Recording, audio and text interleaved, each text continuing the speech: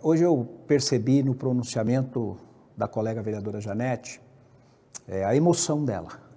E é, apesar dela estar hoje na oposição, já estive também na oposição, é, mas eu vi que ela falou ali com o coração e isso me emocionou, até porque, como ela sempre fala para nós, ela acredita muito naquilo que ela fala, que ela defende. E eu tenho certeza que isso para ela não foi uma decisão fácil. Então eu encerro mandando um abraço à vereadora Janete Rocha Pietá,